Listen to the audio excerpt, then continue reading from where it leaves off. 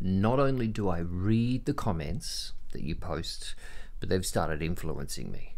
For example, yesterday's time lapse. I got to the end of the wall trying to build stuff. You deserve some time off.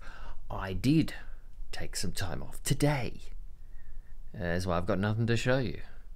And then Ed, I'm just reflecting back on what I've done. I made it to the end and now I do feel good. There it is.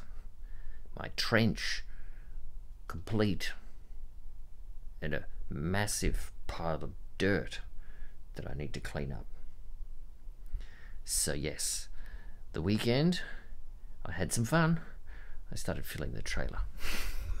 okay, that's not really what you meant when you said relax and have some fun on the weekend, but anyway. So, there you go. You are the influence.